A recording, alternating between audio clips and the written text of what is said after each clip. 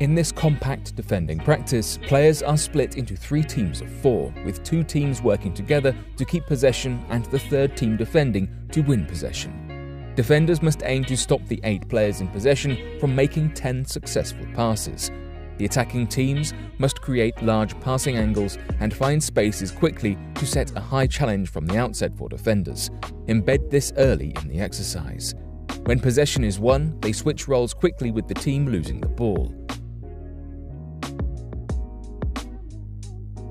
Transition for both attackers and defenders is crucial to avoid quick turnovers. Defenders must work together as a compact unit to limit space for attackers to play and give themselves the best opportunity to intercept.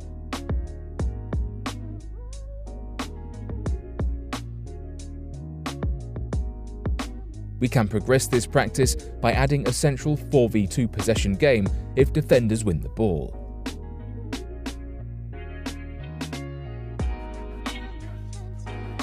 This reward will motivate defenders to work collectively as a unit to regain, with scores maintained by you, the coach, over a set time, for example, 5 minutes of continuous play.